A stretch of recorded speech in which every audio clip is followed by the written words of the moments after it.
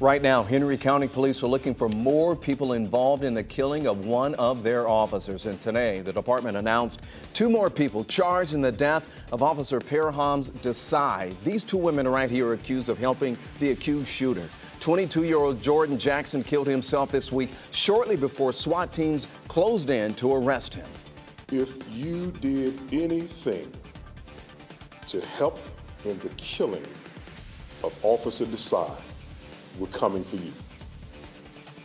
We're coming for you to place you in jail immediately for helping someone that took the life of an officer, and we will not stand for it here in Henry County or in the state of Georgia.